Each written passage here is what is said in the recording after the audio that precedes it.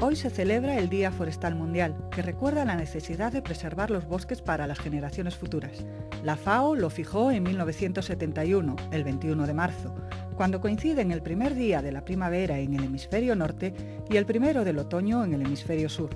La masa forestal es imprescindible para el mantenimiento de la vida y la biodiversidad en la Tierra, pues nos provee de aire limpio, tierra cultivable, materiales de construcción o medicinas pero la mitad de los bosques que cubrieron la Tierra, unos 29 millones de kilómetros cuadrados, han desaparecido por la tala indiscriminada y se han destruido el 78% de los bosques primarios.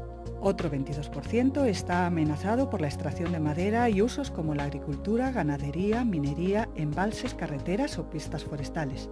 También por el imparable crecimiento demográfico, la deforestación o el cambio climático, que han hecho que 76 países perdieran sus bosques primarios y 11 puedan perderlos. En las jornadas celebradas el Día Forestal Mundial se muestran los peligros de los bosques como los incendios y se anima a que los asistentes planten árboles.